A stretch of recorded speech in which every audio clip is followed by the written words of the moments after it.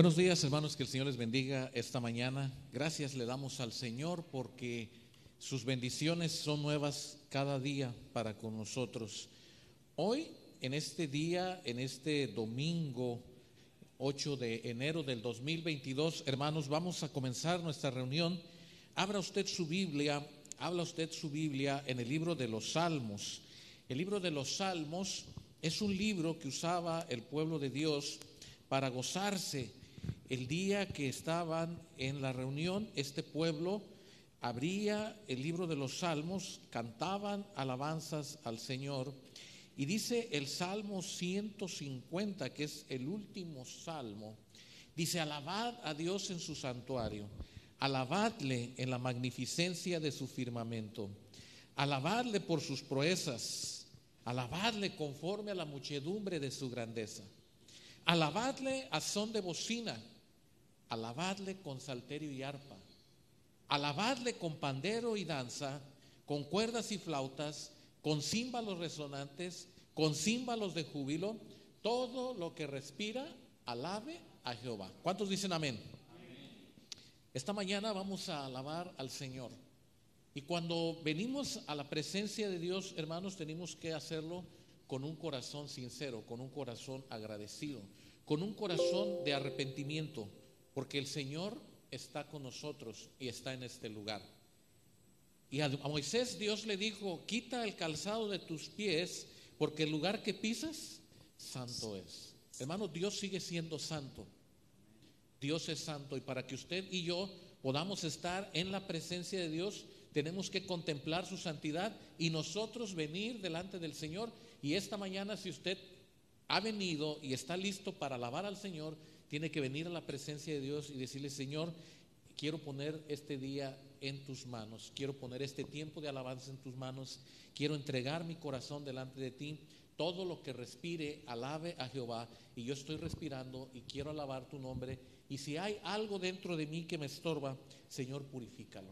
¿Qué le parece si nos ponemos de pie en esta mañana y comenzamos a alabar el nombre del Señor y comenzamos cada uno de nosotros a decirle en esta ocasión, he limpiado mis manos, he limpiado mi corazón, he limpiado mi mente, la entrego a ti, Señor. Vamos a alabar al Señor esta mañana con todo nuestro corazón. Vamos a decirle...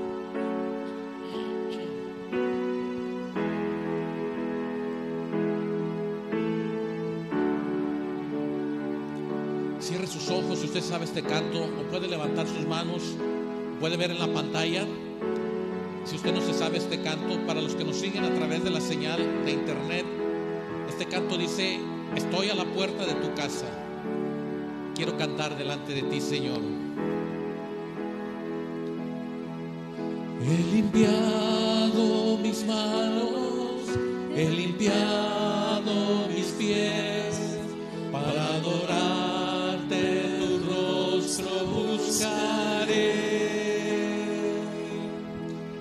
He limpiado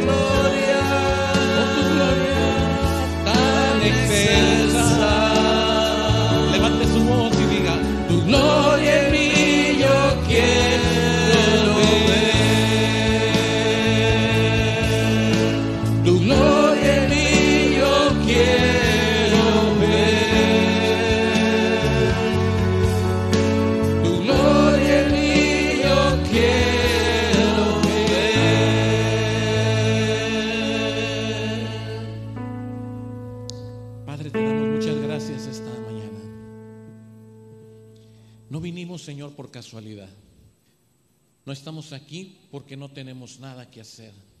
No estamos aquí porque fuimos obligados, traídos a la fuerza. Señor, estamos aquí porque tú pusiste nuestro corazón, en la mente, a este cuerpo, Señor, le diste la posibilidad de trasladarse, de desplazarse y venir hasta este lugar. Gracias, Padre. Gracias porque todos los que estamos hoy aquí estamos agradecidos. Pero también no es casualidad, no es suerte que los que están escuchando a través de las pantallas estén con nosotros hoy alabando tu nombre. Tú dijiste en tu palabra, todo lo que respira, alabe a Jehová. Gracias, Señor. Gracias por este tiempo. Nos presentamos delante de ti para que tú tomes este tiempo de alabanza y de adoración. Te lo pedimos todo en el nombre de Cristo Jesús. Amén. Amén. Pueden tomar su lugar para que abra usted su Biblia, porque quiero que usted abra su Biblia. Es el Salmo 149. Y todos los que están en casa viendo esta transmisión pueden también abrir su Biblia en el Salmo 149, porque el Señor nos está diciendo, cantad a Jehová cántico nuevo. Cantad a Jehová cántico nuevo. Su alabanza sea en la congregación de los santos. ¿Qué le parece si lee conmigo el versículo 1? El versículo 1 dice así, cantad a Jehová cántico nuevo, su alabanza sea en la congregación de los santos. Nosotros tenemos que cantar. No es de que si usted canta bien o no canta bien, no es de que si usted se sabe o no se sabe la letra, es de que usted va a cantarle al Señor con todo su corazón. Quiere decir que usted debe tener una actitud agradable, una actitud de gozo, una actitud de gratitud. Usted se va a unir hoy con nosotros a cantarle, porque no es el grupo nada más que alabamos al Señor. Nosotros solamente les guiamos, les ayudamos para que todo el pueblo de Dios alabe al Señor, gócese delante del Señor. ¿Cuántos dicen amén? Vamos a cantar esta mañana, venid y aclamemos alegremente a la roca de nuestra salvación. Vamos a usar nuestras manos y vamos a gozarnos esta mañana cantando, venid.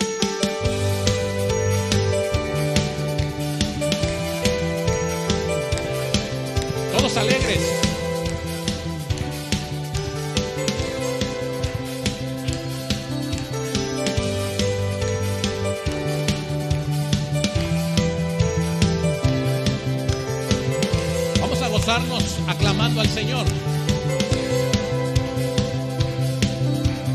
Venid y aclamemos, venid y exaltemos con júbilo a la roca de nuestra salvación. Lleguemos ante el trono, ante su presencia con alabanza, aclamémosle con cántico. Venid y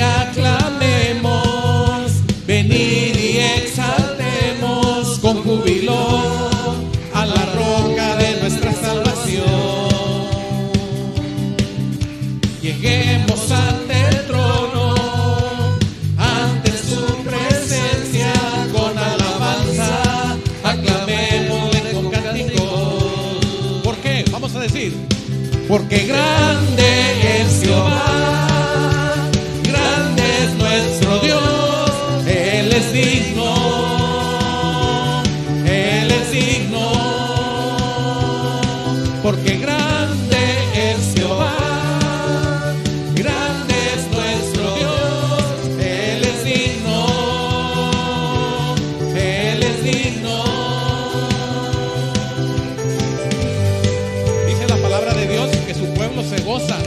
porque Él está en medio de nosotros, con poder victoria, porque Él es digno de toda alabanza.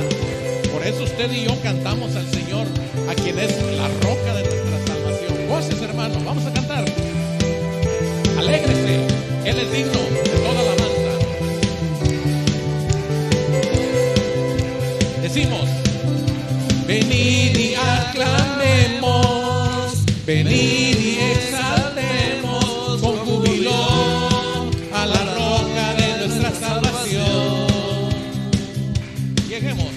Lleguemos ante el trono, ante su presencia con alabanza, aclamemos con cántico.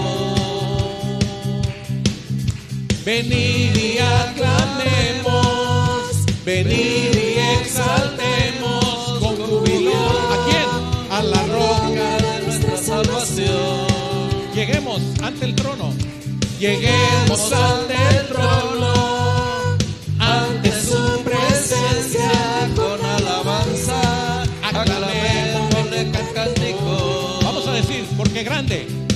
porque grande es Jehová, grande es nuestro Dios,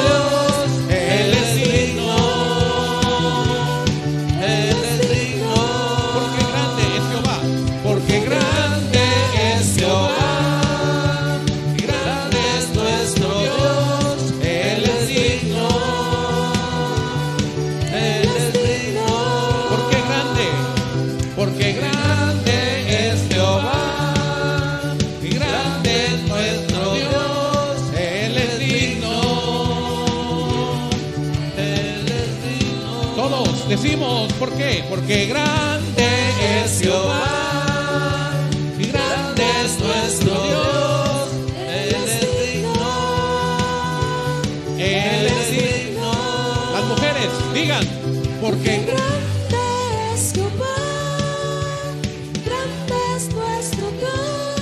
Él es digno,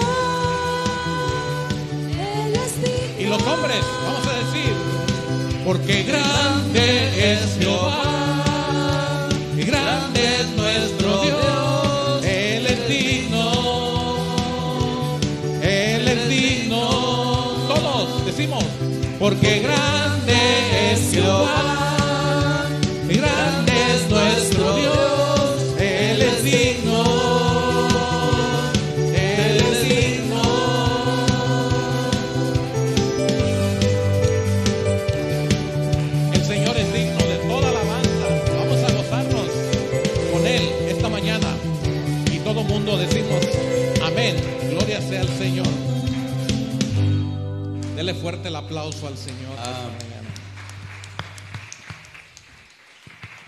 Yo no sé, pero obviamente que si usted se siente, se siente usted con vida. No importa que usted esté cansado, enfermo, tal vez usted está agotado de una semana intensa, pero usted está con vida. Amén. Y mire, cada día que pasa, Dios aumenta sobre nosotros su poder y su misericordia. Porque entre más años pasan, más difícil es vivir sobre esta tierra y con este cuerpo. Pero el Señor mantiene su gracia sobre nosotros. Por eso cantamos, has aumentado, oh Señor, tus maravillas. ¿Cuántos dicen amén? Vamos a cantar al Señor, has aumentado, oh Señor, tus maravillas.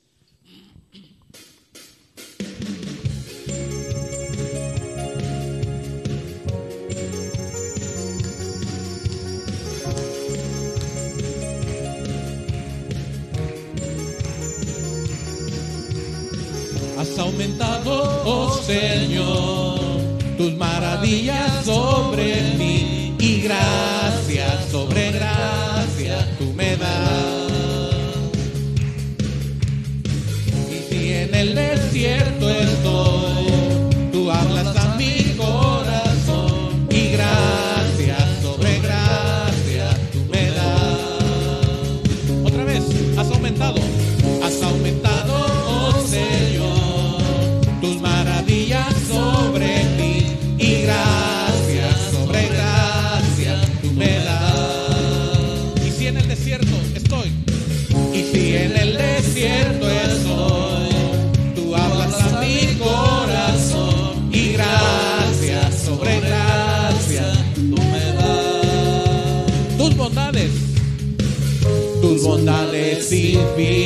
son, no las puedo contar. No hay tiempo suficiente para hablar de todo lo que has hecho tú, Jesús. Vamos a decir, y grandes son tus obras,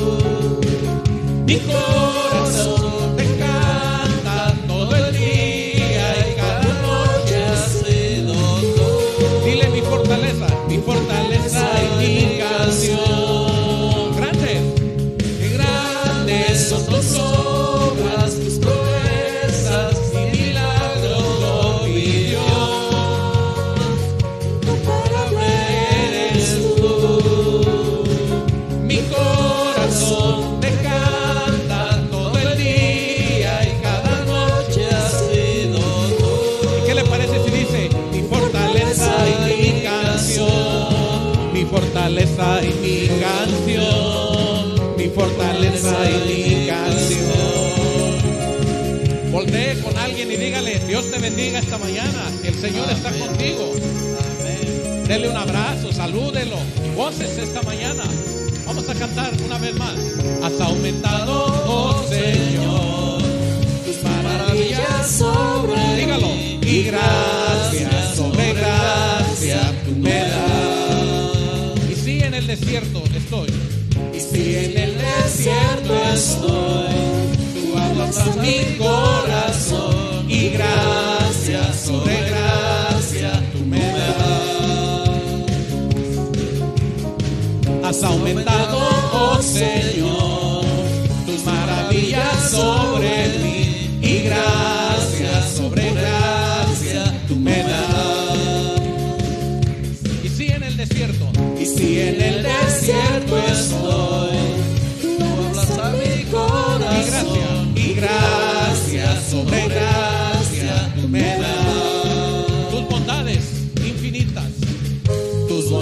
bondades infinitas son, no las puedo contar. No hay tiempo suficiente para hablar de todo lo que has hecho tú, Jesús. Grandes, vamos a decir, grandes son tus obras,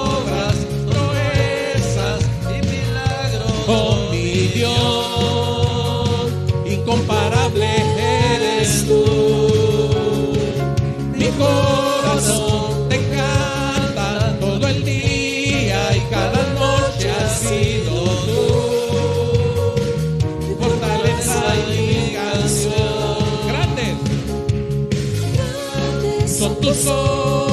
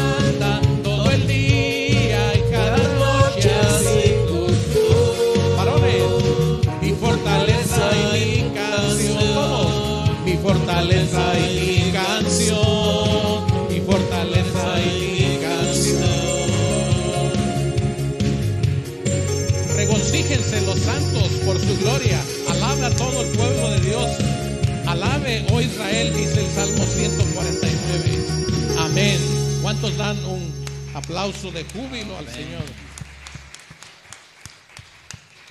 El Salmo 117 dice, alabad, alabad. Naciones, pueblos, todos alabad su nombre. ¿Cuántos son pueblo de Dios? Y usted está alabando porque usted es hijo de Dios, usted es pueblo de Dios, somos hijos de Dios. Y si somos hijos de Dios, dice la palabra de Dios que alabamos al Señor por todas sus maravillas, por su grandeza. Y este canto dice, somos tus hijos. Vamos a cantar al Señor en esta mañana, somos tus hijos. Amén.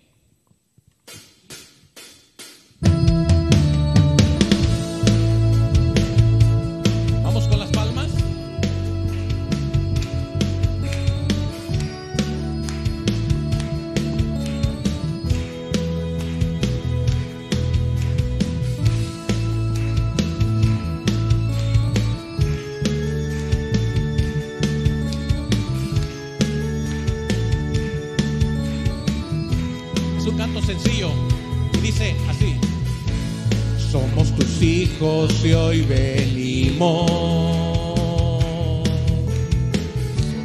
Somos tu pueblo redimido.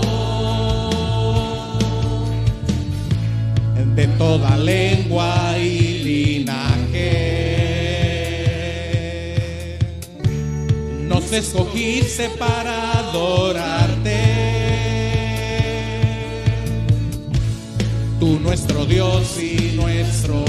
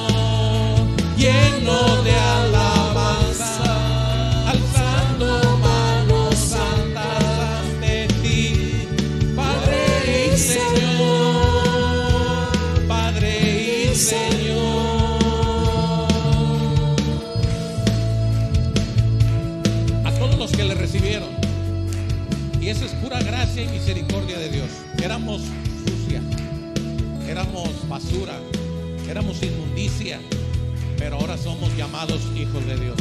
Y por eso le alabamos y por eso le cantamos. No merecíamos nada. Por eso vamos a decir todos, somos tus hijos, una vez más.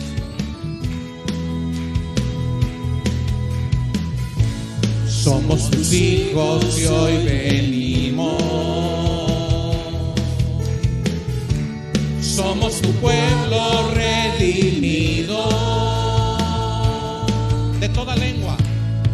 Toda lengua y linaje. Nos escogiste, nos escogiste para adorarte. Tú nuestro Dios tú nuestro Dios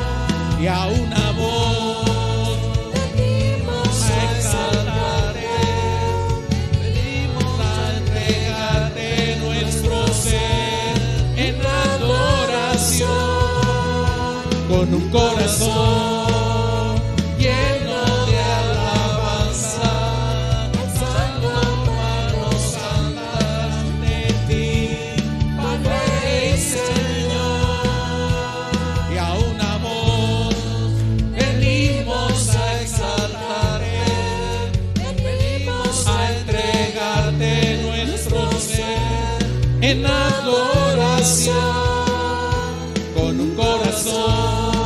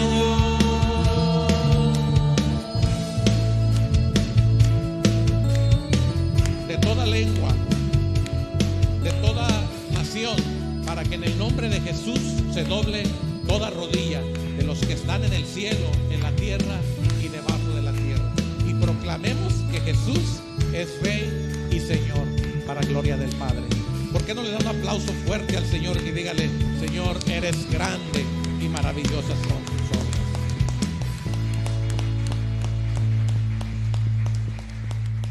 Venimos a la presencia de Dios y cuando estamos en la presencia de Dios alabamos. Pero también el Señor quiere decirnos algo y lo va a hacer a través de su palabra.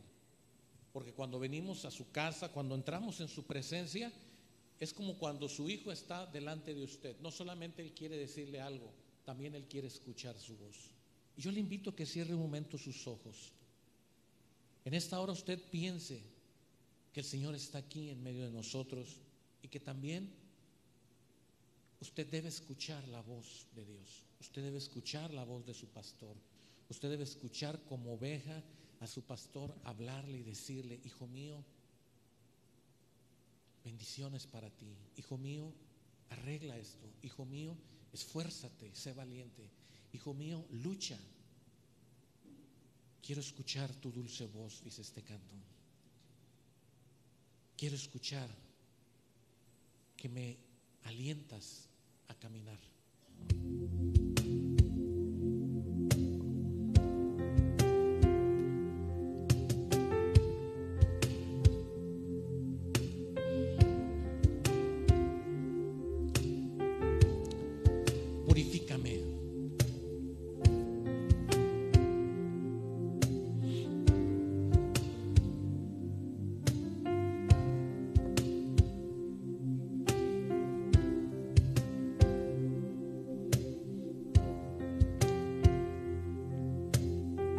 Nosotros hemos de decirle al Señor, Señor, queremos escucharte, háblanos.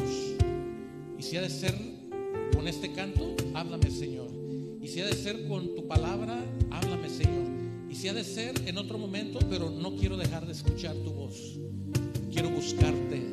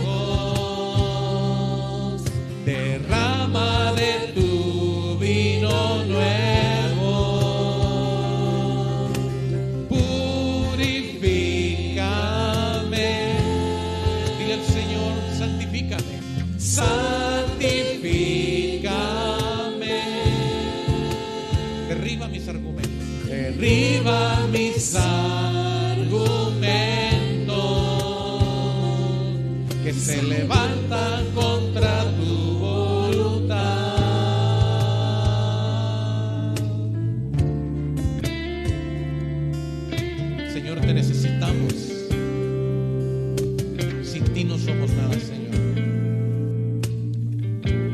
Ayúdanos, Padre, porque queremos más parecernos a ti, Señor. Solos no podemos, Padre. Por eso queremos decirte, purifícame.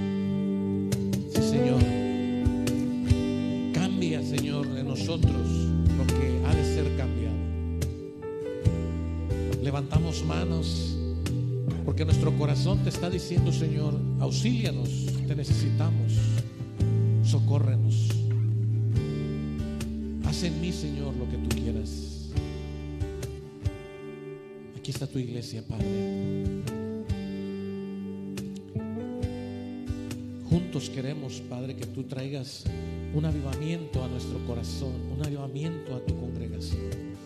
Danos un mejor año 2023. Pero no queremos hacerlo sin tu dirección, sin tu ayuda. Queremos hacerlo junto a ti, Padre.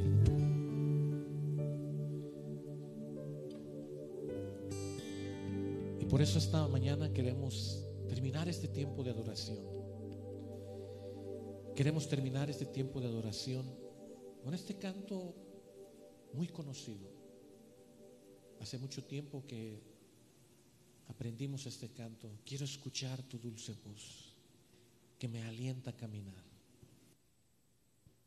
Señor, ayúdame.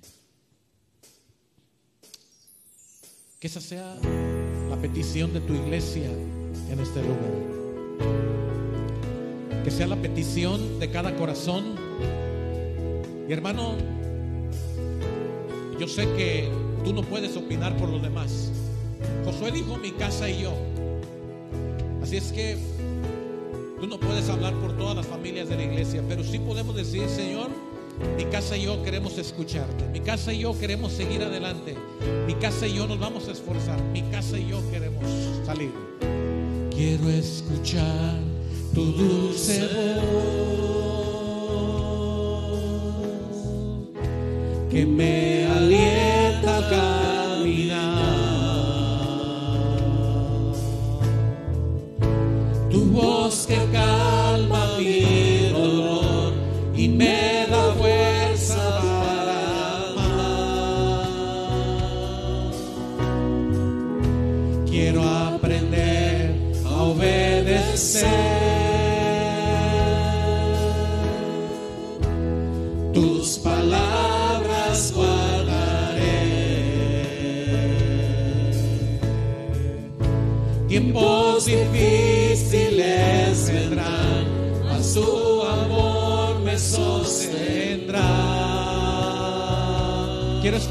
tu dulce voz. Vamos a decirle una vez más, iglesia, todos juntos. Quiero escuchar tu dulce voz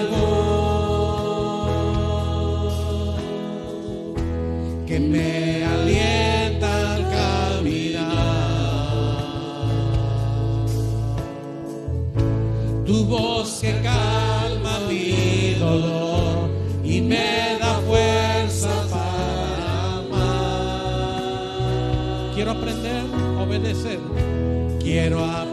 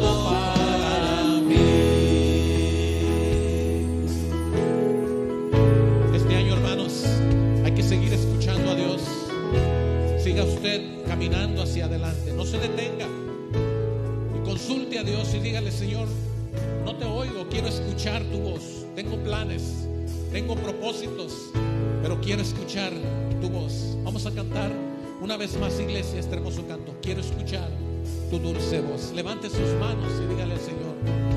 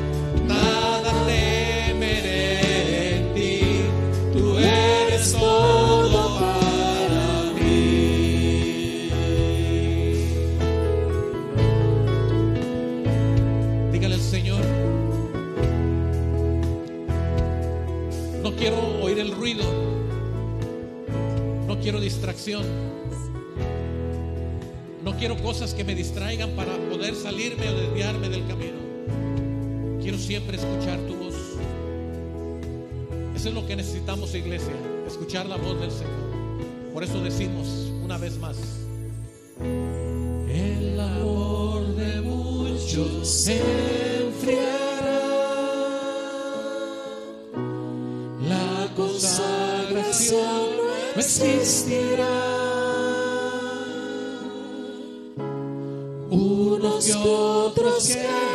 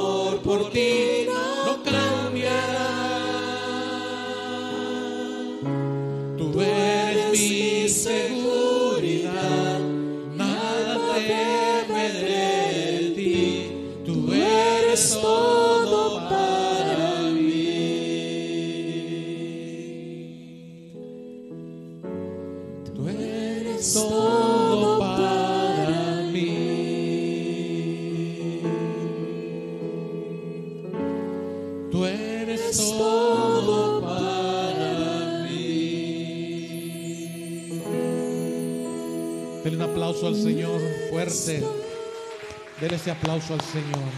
Gracias, Padre.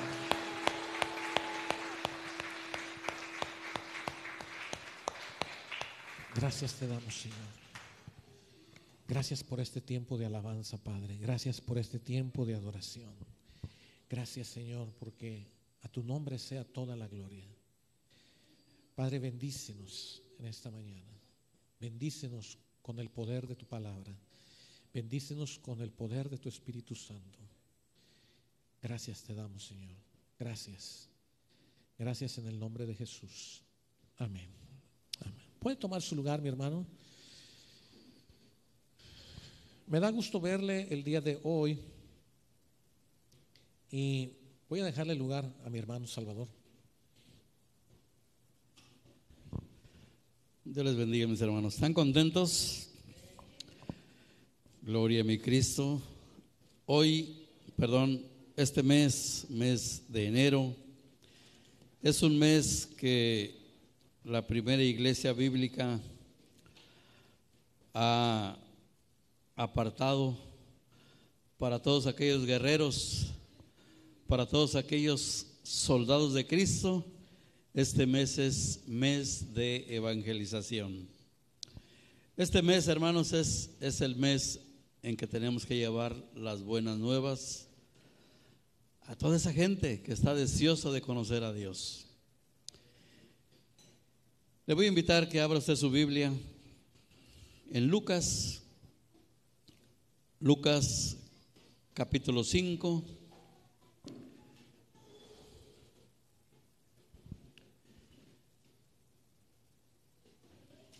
Capítulo 5.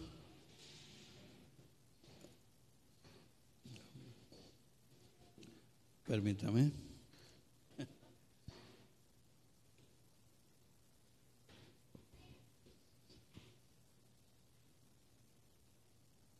Lucas, Lucas 5. Lucas 5:33. Vamos a darle lectura a la palabra de Dios. Dice, el tema es la pregunta sobre el ayuno. Siga usted con su vista la lectura y yo le voy a dar lectura a la bendita palabra de nuestro Dios. Lucas 5:33 dice, entonces ellos le dijeron, ¿por qué los discípulos de Juan ayunan muchas veces y hacen oraciones?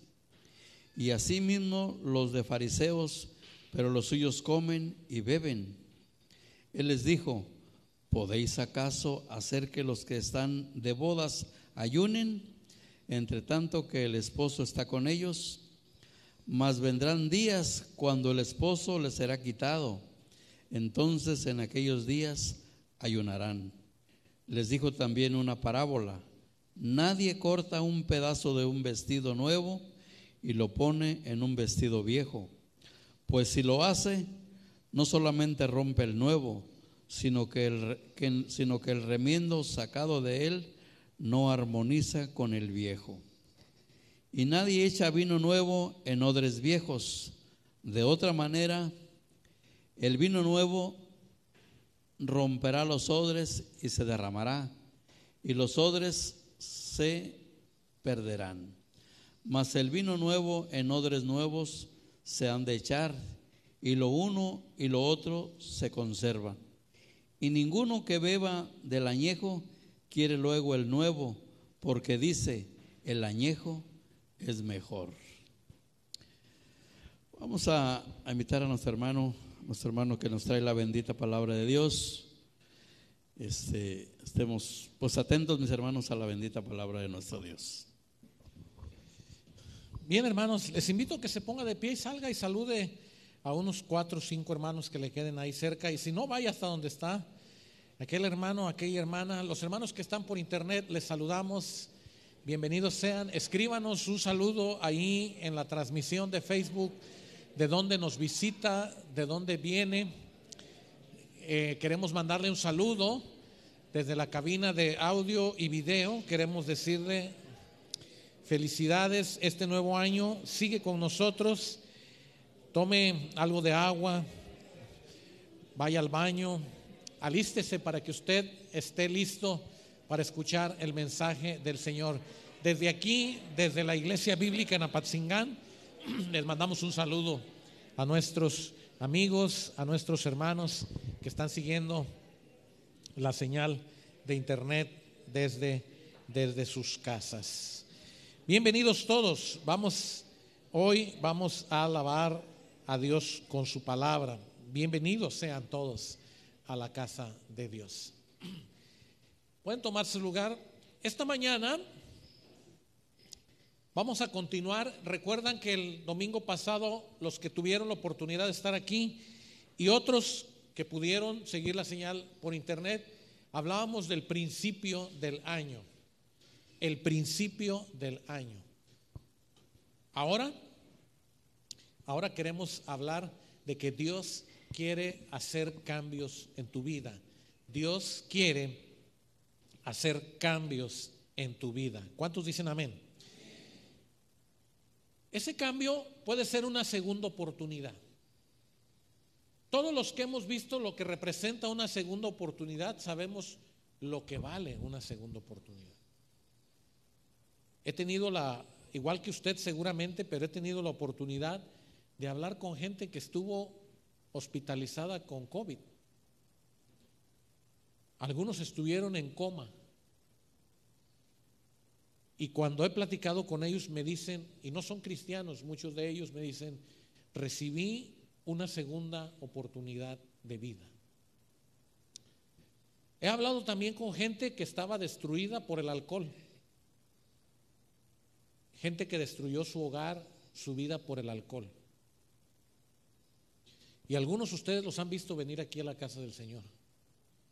Y de repente dicen, ellos en su testimonio, recibí una segunda oportunidad de vida. He visto gente que estuvo atrapado en las drogas, hermanos. No de que una vez al mes, no, diariamente continuamente en las drogas. Y cuando uno escucha esos testimonios dicen, he recibido una segunda oportunidad. He visto en las noticias gente que quedó atrapada después de que se cayó su casa o el lugar donde vivían después de un temblor o un terremoto. Y que tal vez tardaron horas o días en rescatarlos de los escombros. Y cuando usted los escucha hablar, ellos dicen, recibí una segunda oportunidad.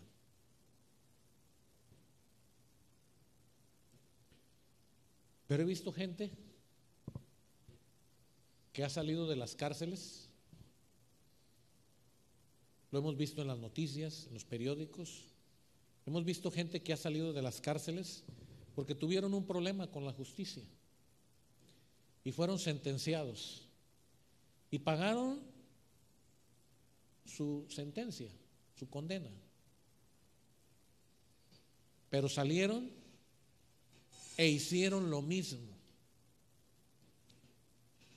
Y fueron recapturados, reaprendidos. Y hay mucha gente que está en la cárcel pagando su segunda, tal vez su tercera o hasta cuarta condena. Porque no supieron aprovechar la oportunidad que tuvieron. Esto que les estoy diciendo también tiene que ver contigo y conmigo los cristianos. La Biblia dice en 2 de Corintios 5, de modo que si alguno está en Cristo, nueva criatura es. Juan 1:11 dice a lo suyo vino y los suyos no le recibieron. El versículo 12 dice, más a todos los que le recibieron les dio potestad de ser hechos. Pero sabe que hubo gente que fue limpia. Hubo gente que fue perdonada. Hubo gente que usted la vio rendirse aquí en el altar o rendirse en un culto evangelístico o rendirse en una campaña o rendirse en algún hogar. Hubo gente que dijo un día, he decidido seguir a Cristo, pero volvieron atrás. Pero dejaron el camino del Señor. He visto gente que se ha perdido literalmente se ha perdido otra vez en delitos y pecados después de que un día vinieron, hicieron decisión de fe y seguramente no supieron lo que hicieron, pero tuvieron la oportunidad, hermanos, de cambiar. Tuvieron la oportunidad de hacer su vida diferente. Tuvieron la oportunidad de corregir ese rumbo. Fueron personas que después de haber estado en coma, muertos en delitos y pecados, inmersos en la basura, en la suciedad, tuvieron una segunda oportunidad y no la aprovecharon. Y yo no quisiera que hoy hubiera entre nosotros o en los que están mirando este programa, no me gustaría que hubiera gente que ha recibido una oportunidad de Dios para su vida y que hoy la esté desperdiciando. Qué triste sería que Jesús haya sufrido en la cruz por ti, que Jesús haya muerto en la cruz por ti y que tú no valores esa segunda oportunidad. Esta semana, bueno, la semana pasada, hubo un jugador en el fútbol americano, Damar, que después de una jugada en el campo de fútbol se desvaneció. Entró la asistencia médica, entró la ambulancia, los compañeros de juego se pusieron alrededor de él, pero dicen los comentaristas que los médicos tuvieron que darle resucitación porque había sufrido un infarto al corazón y técnicamente murió.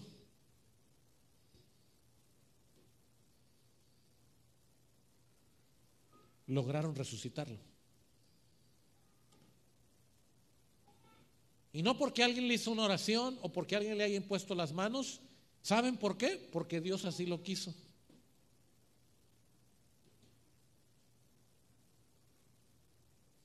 Y pasaron unos días y creo que el jueves o el viernes, no estoy muy seguro, pero ya pudo hablar, o ya pudo escribir, ya pudo estar consciente.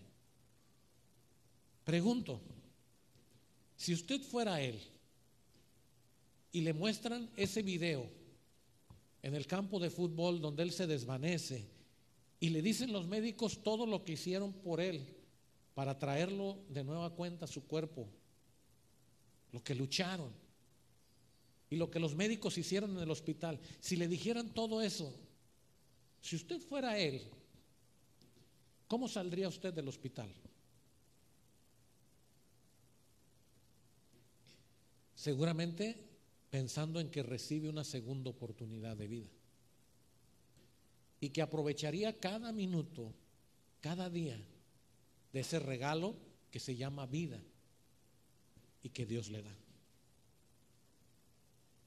Entonces mi pregunta es, ¿por qué nosotros, dice la palabra de Dios, por qué nosotros no tenemos en gran aprecio, en gran gozo, la salvación que recibimos de nuestra alma? ¿Por qué nosotros no tenemos ese gozo de decir, yo antes era así, mas por la gracia de Jesús en mi vida, ahora soy nueva criatura? Y quiero disfrutar. Y quiero caminar. Y quiero ir hacia adelante. No es casualidad lo que cantamos hace un momento, hermanos. Cantamos porque teníamos un propósito de que este mensaje llegue a nuestro corazón. Cambia mis odres viejos en odres nuevos. Cambia. Yo le invito a que se ponga de pie. Vamos a orar para poder comenzar el mensaje esta mañana. Padre, muchas gracias. Muchas gracias porque nos trajiste aquí para oír tu palabra. Muchas gracias, Señor, porque tu palabra es clara. Tu palabra no es simbólica. Tu palabra no es solamente una muestra. Tu palabra es viva. No es un libro más que debamos leer, sino es un libro que contiene tu vida, tu esencia, tu voz. Ayúdanos, Señor, a oír tu voz esta mañana. Te lo pedimos todo en el nombre de Cristo Jesús. Amén. ¿Pueden tomar su lugar, mis hermanos?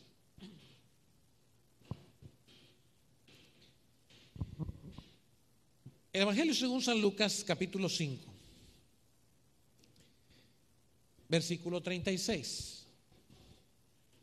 Nadie corta, nadie corta un pedazo de vestido nuevo y lo pone en un vestido viejo. Pues si lo hace, no solamente rompe el nuevo, sino que el remiendo sacado de él no armoniza con qué. Pregunto, ¿qué está diciendo Jesús en este pasaje? Hermanos, lo que Jesús está diciendo en este pasaje es que la vida vieja no puede convivir con qué? Con la vida nueva. La vida vieja usted y yo que dejamos en la cruz no puede tener comunión con la vida nueva. Dice Jesús, no pueden vivir juntos. No armoniza. No armoniza. Imagínese esta historia. Imagínese que usted tiene la posibilidad tal vez de decir, voy a remodelar y arreglar toda mi casa. Y usted arregla toda su casa desde los cimientos y pone usted paredes nuevas, pisos nuevos, usted pone luces nuevas, pintura nueva y usted sale con un comedor que le tiene que poner un palo de escoba para que se detenga ahí. Y alguien que lo visite usted en su casa dice, wow, qué bonita está la casa. ¿Me das permiso de sentarme aquí a la mesa? No, no te vayas a sentar mucho porque mira, le puse un puntal ahí. Y le va a decir la persona, oye, gastaste en arreglar toda la casa y pues sí, bueno, siquiera dame chance de entrar a tu baño. Sí, nomás te encargo. Es que le puse un mecate para que el baño salga el agua. ¿Un mecate? Sí, es que pues esta es mi taza de toda la vida. Esta taza ya me conoce. ¿Cómo la voy a cambiar? Pero un mecate, sí. Y, ten cuidado, por favor, porque si le jalas mucho el mecate te puedes traer toda la válvula. ¡Wow! ¡Qué increíble, ¿no? Y que después la persona salga del baño y le dice, no, pues está muy bonita tu casa. Bueno, pues ya no me puedo sentar en la mesa, no puedo sentar, no puedo estar bien del baño. ¿Me das chance de sentarme en tu sala?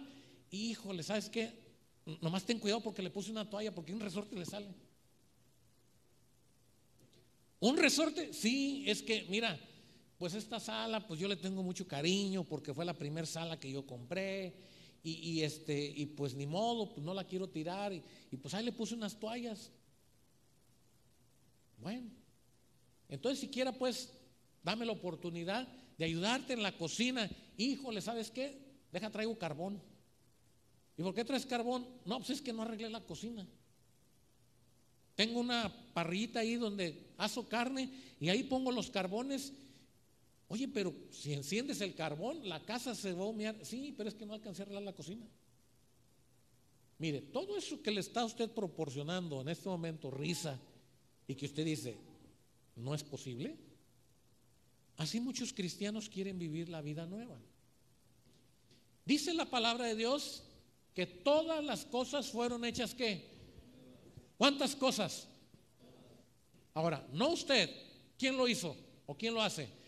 Dios por medio de Jesucristo.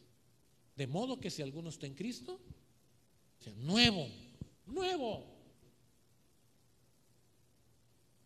Pero ¿quién trae el sillón viejo? No armoniza, dice el Señor. No armoniza.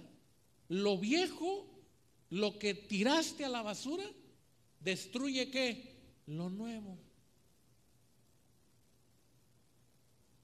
Lo viejo, que es lo que yo te tiré, que es lo que te tenía sumido, qué es lo que te tenía en el dolor de tu vida, qué es lo que te hacía sufrir, que me dijiste, Señor, auxíliame, ayúdame, ya no aguanto esta vida, es más, me he querido hasta suicidar por esta vida, resulta que ahora la quieres volver a vivir.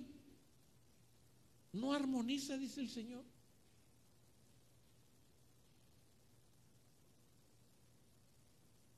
Y entonces usted dice, no puedo yo creer eso. Yo no puedo creer que un cristiano quiere disfrutar la vida nueva con el Señor, pero sus cosas de la vida vieja son las que qué? Son las que usted está usando para su vida nueva y Dios dice, no puede ser. Viene otra parte de la parábola y dice el versículo siguiente, nadie echa, ¿qué? Vino nuevo, ¿en qué? En odres viejos. De otra manera, el vino nuevo, ¿qué? Y se derramará. Y los odres, ¿qué? Se perderán. Nadie puede echar vino nuevo en odres viejos. Ahora, ¿qué eran los odres? Bueno, para ponerlos un poquito en el contexto, eran unas pequeñas ánforas que se hacían con cuero de cabras. En la orilla se cocían, se dejaba un cuellito para almacenar ahí el vino recién fabricado. Ese vino recién fabricado se metía en ese odre, se cerraba y obviamente el proceso de fermentación lleva gases y va haciendo que cada vez que se va usando, ese odre se va haciendo más grande, hasta que llega el momento en que se puede romper por el mismo proceso de fermentación del vino. Ese odre, ese odre que se utilizaba para esa fermentación de ese vino, pues entonces causaba estragos y se derramaba y se perdía el vino y ya no funcionaba el odre. Entonces, ¿qué hacía la gente con los odres viejos? ¿Saben qué hacía la gente con los odres viejos? Guardaban el vino que ya había pasado el proceso de qué? Ese que ya, que ya no iba a fermentar más.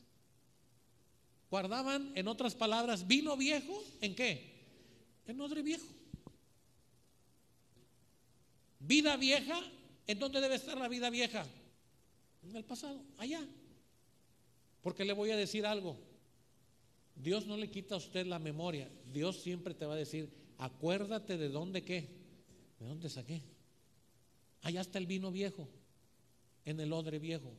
Hoy nosotros dice la palabra de Dios que somos templo de qué? ¿Es usted templo del Espíritu Santo? Nada más, dos, tres hermanos. ¿Es usted templo del Espíritu Santo? Si, si lo tiene el Espíritu Santo, hermanos, usted fue hecho un odre nuevo. Y lo que Dios quiere hacer contigo es derramar de su Espíritu sobre ti. Porque para eso Él puso un recipiente que pero ¿qué es lo que afecta muchas veces? Y yo no me voy a entretener en explicar esa parábola, solamente quiero hablar de una palabra que es el tema de este mensaje. Y la palabra tiene que ver con cambio. Cuando usted tiene vino nuevo, ¿qué necesita? ¿Odre viejo? ¿Qué necesita? Odre nuevo. ¿Qué es lo que tiene que hacer? Cambiar. Yo no sé si usted le ha pasado esto, yo me meto a la cocina, algunas veces, no siempre, y cuando pongo un huevo a cocer en un sartén y el huevo se pega por todos lados, ¿qué pasa con la cazuela? ¿Qué dice hermana? Ya no sirve la cazuela. Y usted parece que con lija le está raspando. Sale ese huevo con huevo, con grasa y con sartén. Y usted lo ve el sartén y dice es que ya este sartén ya tiene 10 años haciendo huevos estrellados, hot cakes. Este sartén ya no qué, ya no sé. Ah, y llega el sartén nuevo. Y pone usted el huevo y usted dice, voy a ver si y hasta nada el huevillo. Y entonces usted le puede dar vuelta así como el chef de la televisión y el huevo sale disparado, hermano. Si eso usted lo hace en la cocina, Dios les puso a la gente un ejemplo de aquella época. Dios habló de un cambio. Y eso es en lo que nosotros debemos enfocarnos en este año 2023. ¿Dónde quedó el 22? En el pasado. Muchas cuentas tiene que usted hacer con Dios, seguramente ya las hizo, pero ya tenemos un nuevo año, amén. Ya tenemos un nuevo año y somos hijos de quién. Y Dios dice, derramaré mi espíritu sobre vosotros. Pero ¿cómo puedo derramar mi espíritu si ustedes no han querido cambiar y siguen siendo los mismos odres viejos? No puedo, dice el Señor. No puedo. Y esto equivale a que su esposo le diga a usted, oye mujer, tengo ganas de unos huevos estrellados, mira, no puedo porque el sartén no sirve. No, así, no, no puedo. El huevo no, no va a salir, se va a desperdiciar la comida. Así, mujer, ¿hay qué tanto son 10 años de sartén? Y usted dice, pues no, no te voy a dar huevos estrellados hasta que no me cambies de sartén. Ah, pues comeré otra cosa. Y hermanos, hay cristianos que se rehusan al cambio y andan haciendo otras cosas y Dios te vuelve a llamar y te vuelve a decir, cambia. Cambia. Y usted dice, ah, bueno, pues otra temporadita más y se va y usted vuelve a hacer su vida, luego regresa con el Señor otra vez con problemas, derrotado y el Señor dice, yo te dije que cambiaras porque quiero hacer contigo cosas nuevas, diferentes. Cambia. Ese es el mensaje de esta mañana. Ese es el mensaje para mí. Ese es el mensaje para ti. Cambia. Y el cambio produce algo nuevo, algo diferente. Cuando usted se cambia, yo a veces veo a los hermanos aquí, a veces ustedes me ven y todos venimos muy guapos, muy muy bien bañados, muy bien cambiados, muy bien peinados. Usted cambió. No se vino con la pijama. No se vino con el chor y las chanclas con las que usted se levantó en la mañana. Usted se puso en una actitud diferente. Lo que Dios está buscando de ti y de mí es cambiar, hermanos. Dice Dios, yo no puedo hacer con tu vida algo diferente, algo nuevo, mientras tú sigues siendo el mismo molde viejo que no me sirve para nada, pero eso lo tienes que hacer tú. Dios ya pagó el precio en la cruz. Dios ya mandó a su Hijo. Dios ya te dio su Espíritu Santo. El que tiene que cambiar eres tú. ¿Cuántos están dispuestos a cambiar este año? ¿Y en qué va a cambiar usted? Pues quién sabe. Qué bueno que no le dije cambie marido, cambie esposa, porque rápido va a decir, sí, sí, sí, no. Cambie usted. Isaías. Vamos a ver qué dice el profeta Isaías. Isaías está en el Antiguo Testamento. Isaías es un profeta que habló fuerte a Israel. Isaías 53.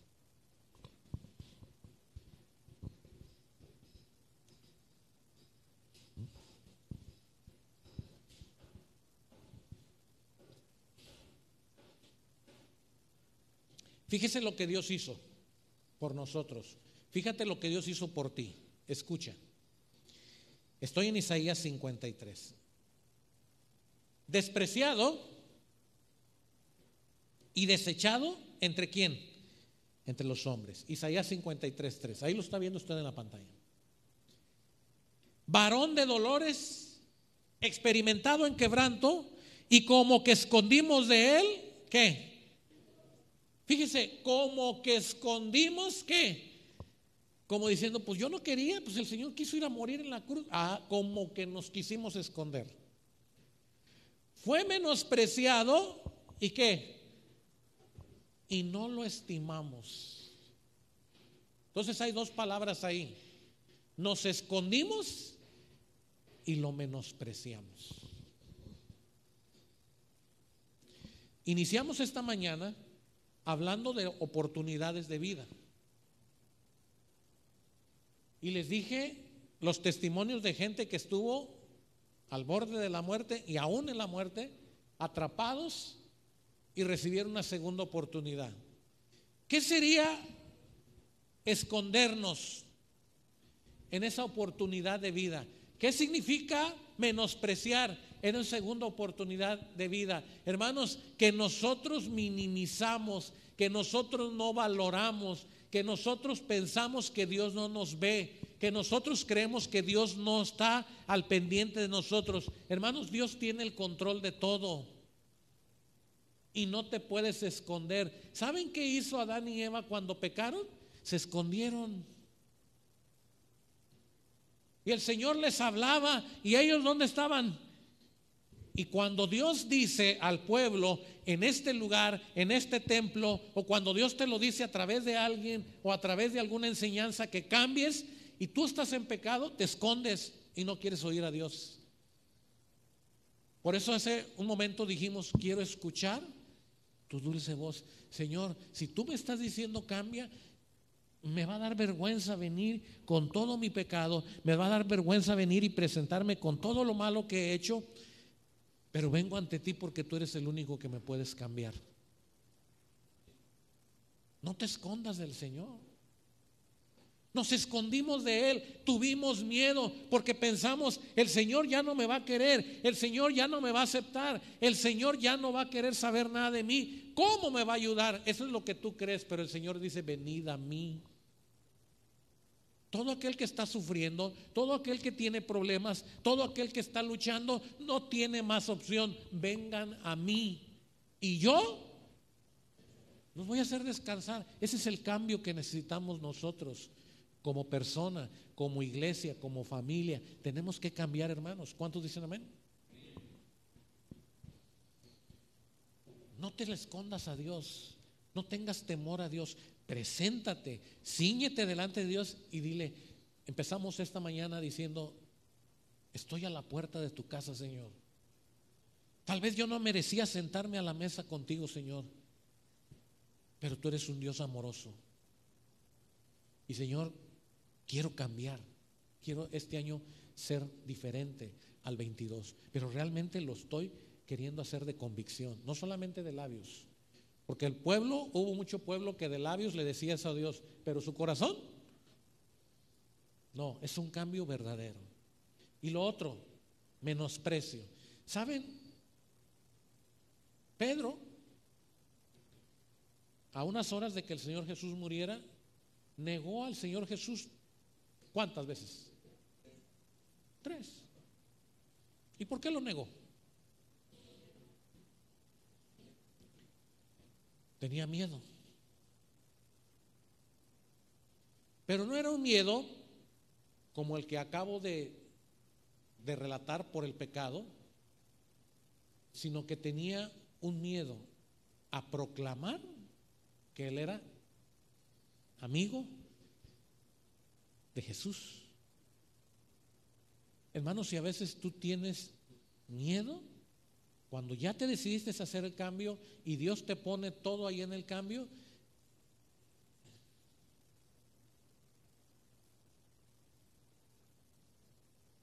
entonces esto equivale a que usted no sabe nadar y le enseñan a nadar en la pila de su casa.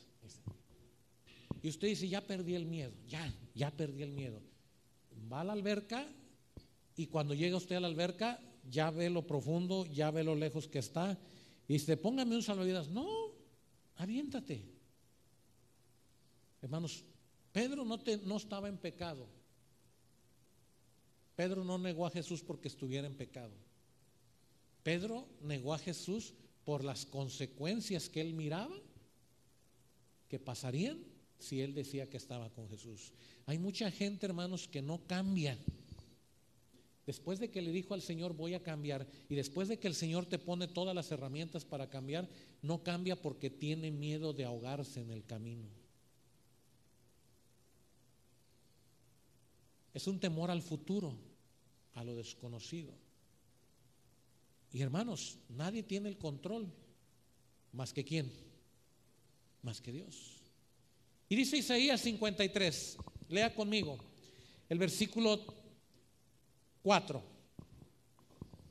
Ciertamente que llevó él nuestras, sufrió y nosotros le tuvimos que por herido de Dios.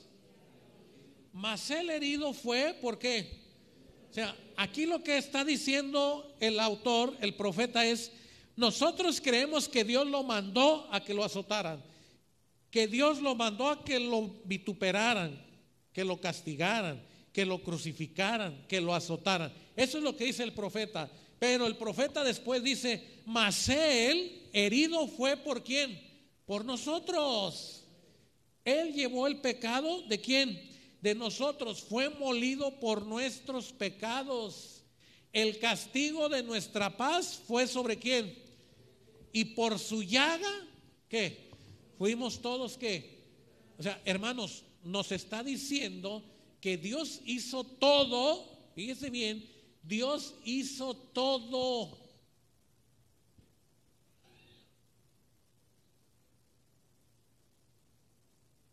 Dios hizo todo. ¿Y cuánto es todo?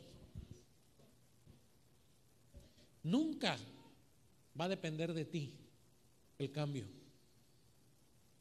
El cambio depende, siempre de Dios. Pero Él necesita que tú digas, sí, creo, sí, quiero, sí, lo tomo, sí, lo hago. El Señor está ocupando tu determinación, pero Él hizo todo. Él pagó por tus pecados. Él fue azotado por tus rebeliones. Él puso el precio de sangre para lavar tu culpa de la eternidad. Él llevó todas tus enfermedades. Él hizo todo. Lo único que tú tienes que decir es, sí. Acepto. Sí. Quiero. Pero hay pecado o hay miedo al futuro y no nos atrevemos a cambiar. Y hacemos algo más, que esto es lo triste que pasa en el siguiente versículo. Dice el profeta, todos nosotros, ¿nos qué? Todos nosotros nos descarriamos como qué? Cada cual se apartó por su camino. Otra vez, lea conmigo el versículo 6. ¿Qué dice?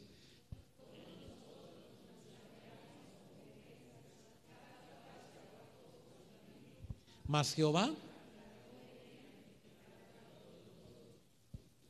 Fíjense bien cómo estamos tratando de armonizar los dos pasajes. Dios sabía que tú tenías un vino viejo una vida vieja. Dios sabía que tú tenías un odre viejo, tu mente, tu cuerpo, tu corazón, un odre viejo. Entonces Dios hizo qué? Todo. Molido, castigado, azotado, maltratado, humillado, pagando justo por pecador. Dios hizo todo. Y Dios hizo todo para que tú llegases a ser un odre que nuevo. Y el Señor dice, yo ya hice todo, todo, todo, todo, todo. Y como ahora eres odre nuevo, ahora puedo yo derramar mi espíritu sobre ti. Y entonces tú puedes salir en toda Judea, en Samaria y hasta dónde? Y hasta lo último. Y recibiréis poder y vas a ir con mi poder y no vas a permitir que nadie se levante contra ti porque mayor es lo que está contigo y el Señor, y usted dice, ay, dice usted, pero el profeta dice, pero nosotros nos descarriamos. Usted se descarriló. Usted se fue a donde no tenía que irse. Usted no hizo lo que tenía que hacer. Voy a poner esta escena, que puede ser quizás en su caso, y si no ha sido en su caso, imagíneselo. Y por amor de las que ya sufrieron eso, sopórtelo. Entonces usted le prepara una comida especial a su esposo. Ay, a mi esposo le encantan los camarones y los voy a empanizar. Y normalmente le gustan tres, pero como estoy pensando en mi viejito dorado, seis. Pero le gusta el arroz y le voy a poner un arroz ahí y ahí le voy a poner cangrejo y le voy a poner pescado. Y usted está pensando con aquella ilusión y ay, le pongo. Ah, pero también le gusta mucho el ajo, la cebolla, el limón y voy a hacer una ensalada y usted hace una ensalada ahí, ¿verdad? Y ay, y dice, ya, ya es la hora casi, no, todavía alcanzo a hacerle una sopa de arroz y le voy a poner a este arroz un estilo de paella para que combine con todos los camarones y usted arregla la mesa, le cambia el mantel, barre, trapea, arregla, saca las mejores losas, la vajilla, pone unas copas, dice, le gusta el agua de limón, le voy a hacer agua de limón, es más, le voy a hacer nieve de limón y usted está listo allí y está esperando el reloj, ya va a ser hora de que llegue. Pero usted dice, ah, pero le tengo que decir. Y entonces usted agarra el teléfono, mira que yo hice esto y le cuento todo lo que le acabo de decir, usted se lo cuenta. Y dice, ah, qué bueno, me da gusto que hayas pensado en mí. Ahí nos vemos a la hora de la comida. Son las 3 de la tarde y no llega. Son las tres y media y no llega. Son las 4 de la tarde y usted dice, yo ya estoy cruzando los ojos. Y entonces finalmente llega a la casa con una bolsa en la mano. Fíjate que pues eh, al salir del trabajo me invitaron allá con el capitán a los mariscos. ¿Y usted cómo va a estar feliz? Ay, hermanos, ¿quién dijo fúrica? ¿Cómo va a estar usted? ¿Contenta? Pero mira, para que no te sientas mal, te traje unos camarones. Los ponen en la mesa. pensé en ti. Te traje un plato de comida. Pensé en ti. Y no te preocupes, guárdalo. Sirve que tenemos mañana para comida. Pregunto, ¿qué sentiría usted? No me conteste, nomás piénselo. Pero ese hombre no sale vivo de esa casa. O por lo menos con unos moretes sí sale. Y si usted ya le pasó, no diga nada. Hermanos, ¿saben desde que Adán y Eva pecaron? El Señor preparó un plan y mandó gente que dijera que un Mesías iba a venir. Y el día que el Mesías vino, no le recibieron. Sin embargo, Jesús amó a todo el mundo. Invitó a otros a la fiesta. Y esa invitación era para los que no eran judíos, usted y yo. La invitación fue para todos. Dijo, si estos no me quieren, para todos. Voy a la cruz. Y fue a la cruz por amor de todo el mundo. Y él murió y resucitó y estaba esperando que el pueblo creyera y se rindiese toda lengua, toda nación. Pero nosotros ah, nos fuimos, nos descarriamos.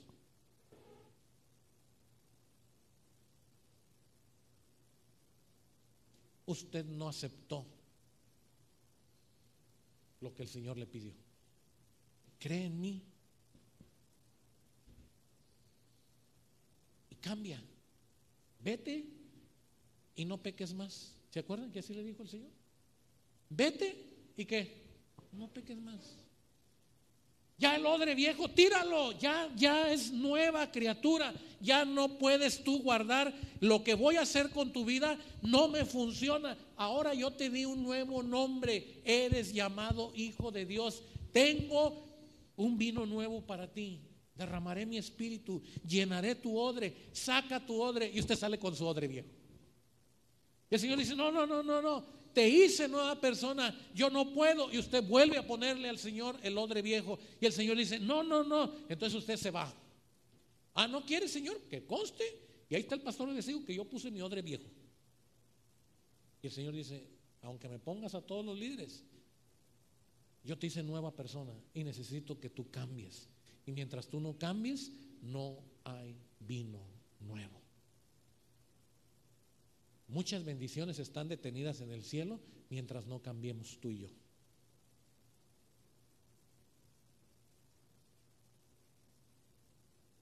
Usted y yo nos descarriamos.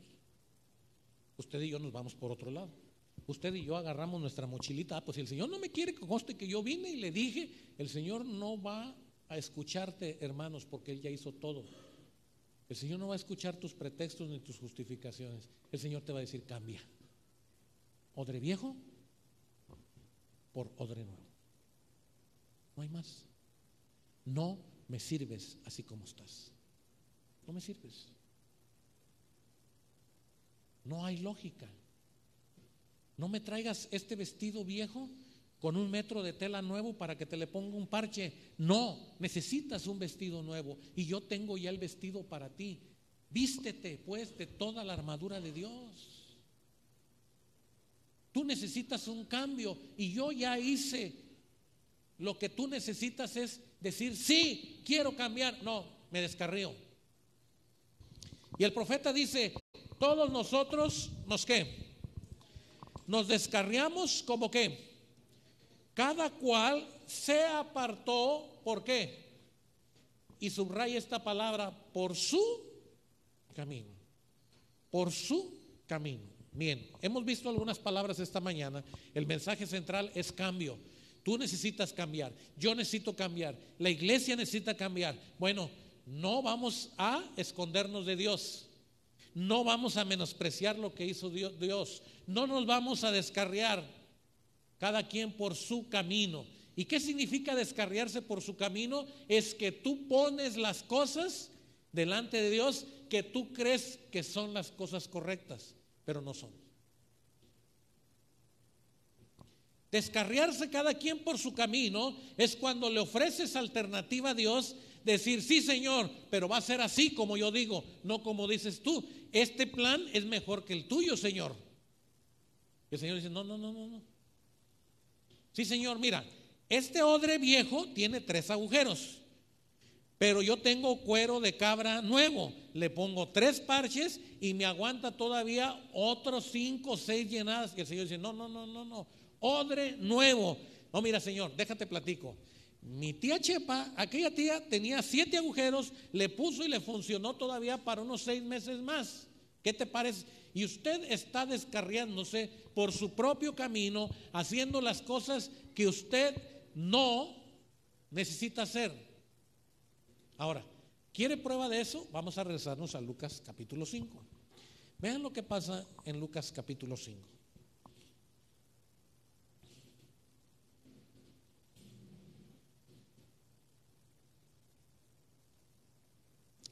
Leímos esta mañana en el versículo 33. Vienen con Jesús y ellos le preguntan, ¿Por qué los discípulos de Juan ayunan muchas veces y hacen oraciones?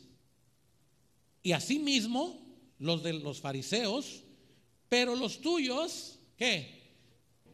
Comen y beben. Leamos todos versículo 33. Ahí lo tiene en la pantalla. ¿Qué dice?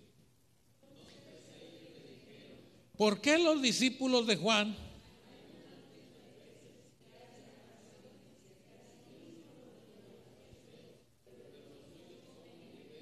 Ok. ¿Cuál es la pregunta? El hermano lo dijo antes de la lectura. ¿Cuál es la pregunta? Lea usted su Biblia. La pregunta es sobre qué. Miren, ¿dónde está el ayuno en la ley de Dios?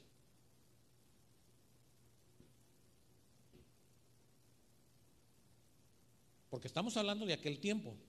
Y en aquel tiempo enseñaban la ley de Moisés, la que Dios le dio en el Sinaí. Si usted ha leído la ley en el Antiguo Testamento y si usted tiene conocimiento, no existe el ayuno en la ley de Dios. Existe el que al Señor tu Dios adorarás, no tendrás dioses ajenos, no te harás imagen, no cometerás adulterio, no hurtarás, no hablarás falso testimonio. Acuérdate del día. Pero en ninguno de los más de 600 mandamientos no dice y cada tercer día vas a ayunar. Nunca va a encontrar usted eso en la Biblia. No está en la ley. No dice cada sábado vas a ayunar, cada domingo, cada mes, cada cinco años, cada tres. En la ley usted no va a encontrar eso. No es un reglamento, ni dice cuántas horas, si una hora, si dos horas, si cinco horas, si que el mío es medio ayuno, que si el mío es día completo, que si el mío es de 40 días, que el mío es de 20 días, por eso no te funcionó, porque lo tienes que hacer de 40, no mejoraste lo de tres meses. Hermanos, no es una receta de cocina. Y ellos están peleando, ¿por qué? Por el ayuno. Le dicen a Jesús, vemos que los discípulos de Juan hacían oración y ayunaban. Vemos que los fariseos que enseñan la ley y que te atacan a ti, también enseñan sobre el ayuno. Pero vemos a los discípulos que no hacen eso. Ellos le entran bien a las carnitas, al chivo, a las tostadas, a la morisca. Le entran sabrosos. Y yo no veo que ayunen. Hermanos, el cambio implica en que tú no te detengas a ver lo que hacen los demás, ni cómo viven los demás. El cambio implica que es un asunto tuyo con Dios. Por eso cuando cantamos hace un momento les dije, Josué dijo, mi casa, si ustedes quieren seguir sirviendo a los dioses de Egipto, si ustedes quieren irse tras de la idolatría, si ustedes quieren, ustedes ya conocieron de Dios, estuvimos en el desierto, fuimos alimentados con el maná, fuimos alimentados por unas aves, fuimos alimentados donde no había comida, Dios dio agua, ya vieron que el mar se abrió, vieron que estuvimos durante todo este tiempo viviendo en el desierto, ya conocieron a Dios, pero si ustedes quieren escoger los dioses de Egipto, háganlo. Mi casa y yo. Doce hombres fueron a escoger, mejor dicho, a espiar la tierra, a reconocer territorio. Doce. Y diez dijeron, no vamos a poder. Y gracias a que diez dijeron que no iban a poder, el pueblo qué? Les creyó porque no se tomaron el tiempo de consultar a Dios, porque no se tomaron el tiempo de escuchar a Caleb y a Josué. Y Caleb y Josué le dijeron, hermanos míos, no hagan eso, no hagan eso. Les estamos diciendo cómo es la tierra, pero no para que entre en el pánico, sino para que confiemos en el poder del que nos va a entregar la tierra para que confiemos en el poder de aquel que nos está diciendo que esa tierra produce leche y miel, de aquel que nos está diciendo que esa tierra es para nosotros. Allí es donde hay que ir. Y hermanos, dice la palabra de Dios que no todos entraron a la tierra, porque fueron incrédulos, porque se guiaron por los demás. Si usted está esperando que los demás cambien para usted cambiar, usted está retardando las bendiciones de Dios para su vida. Usted cambie. Cambie donde el Señor le esté pidiendo cambiar y olvídese de los demás. Haga con Dios no un pacto, un compromiso.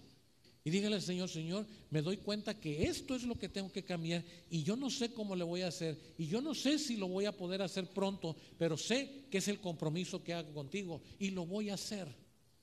No me quiero descarriar, no quiero tener mi propio camino, no quiero entretenerme en algo que no es lo que tú me estás pidiendo. Tú me estás diciendo, cambia, cambia, cambia, cambia.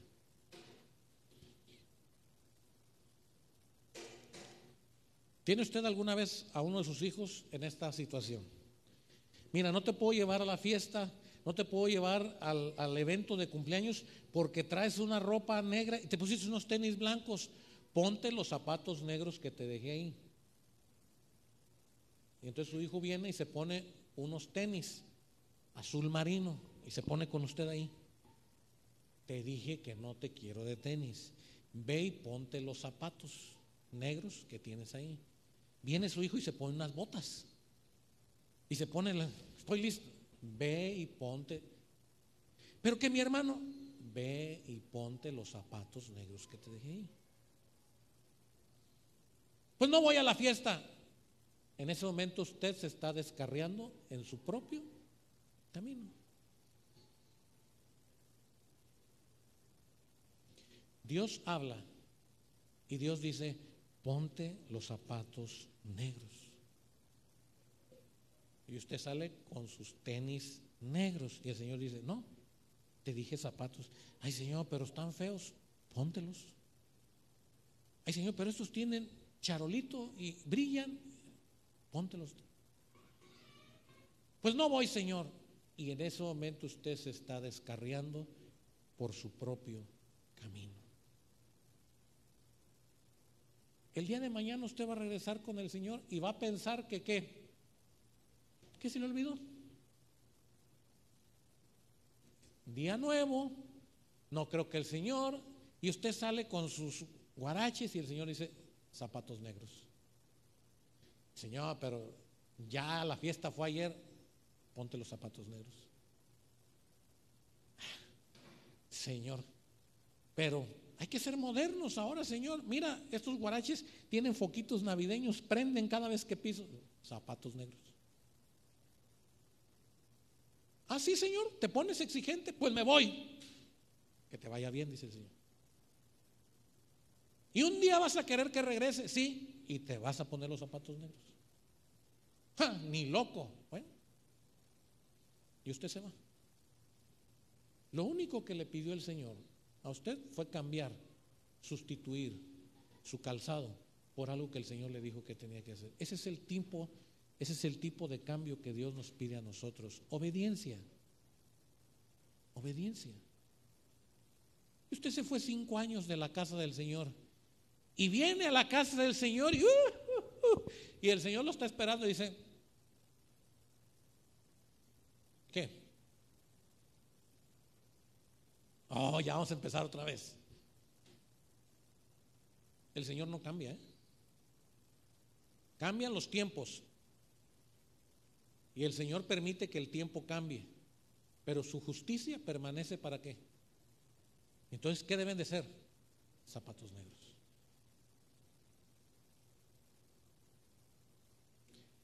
Es que el Señor se quedó en el pasado. No, el Señor te dice zapatos negros. Señor, pero yo veo, y perdón, señores, que te hable así entre confianza, pero yo veo que unos ahí andan con guaraches. Sí, porque también están igual que tú, descarriados.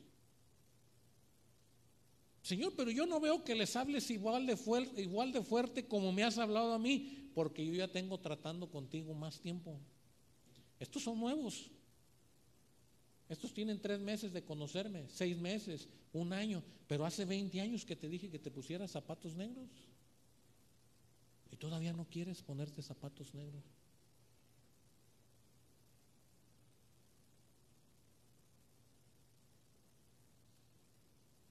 Y avergonzamos al Señor. Por eso el Señor tuvo que decir, no puedo yo derramar mi espíritu mientras los odres sigan siendo viejos. Después de la pregunta del ayuno, el Señor les tiene que decir. Versículo 38. mas el vino nuevo en odres nuevos se ha de echar. Y lo uno y lo otro se conservan. ¿Qué se conserva? El vino nuevo y el qué? Y el odre. Mas el vino nuevo en odres nuevos se ha de echar. Y lo uno y lo otro se conservan. Hermano, no digo yo, lo dice el Señor. Cambiemos. Atrévete a cambiar. Tuviste todo el año 2022 y tal vez cada semana decías, ahora sí, ahora sí es día de veras, ahora sí es día de veras. Recuerda esto, el Señor te sigue llamando y te sigue diciendo, cambia, cambia, cambia. La bendición quizás está detenida para tu vida mientras no hay cambio. Y tú puedes decir, ah, pues con esa poquita bendición vivo. Esa poquita bendición, hermanos, es menospreciar el regalo de Dios para tu vida. Es menospreciar aquel que dejando su trono de gloria vino a morir por ti para que fueras no un medio bendecido ni un poquito bendecido, sino para que en ti se llevara el Evangelio y se derramaran todas las bendiciones de Dios. ¿Te gustaría cambiar? ¿Te gustaría comenzar hoy cambiando? No es un asunto que me tienes que decir a mí, es un asunto personal. Pero tienes que buscar a Dios y arreglarte con Dios. Y ahí comienza el cambio.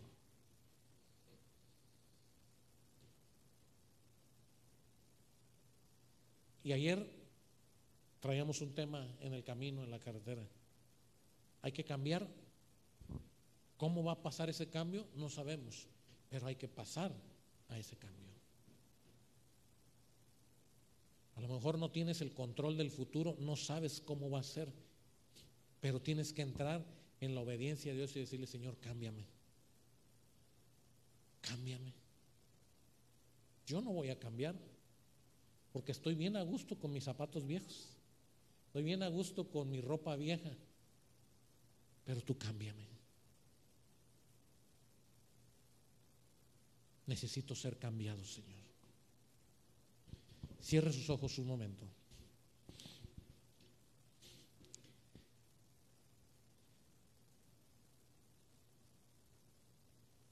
Este canto, que fue el penúltimo que cantamos, dice, quiero buscarte a ti. No sé si, hermano Ángel, puedes ponerlo en la pantalla.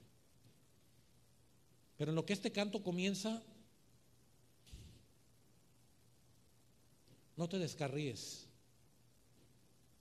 Acércate al Señor. Dile, Señor, cámbiame. No esperes que el Señor cambie a los demás para que tú puedas cambiar. No.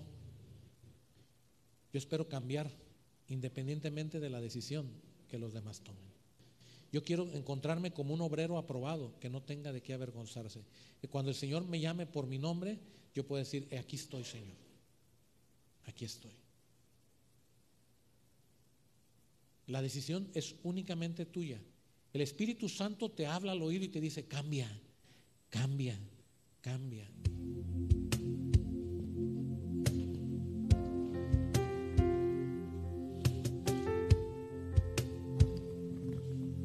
Para los que nos siguen a través de la señal de internet, dile Señor, Señor, purifícame.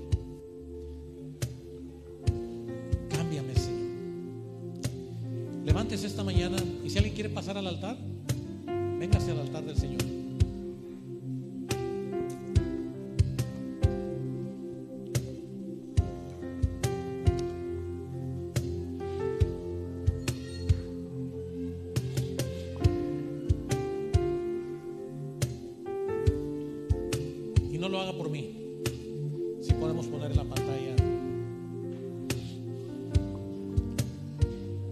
Hermoso canto.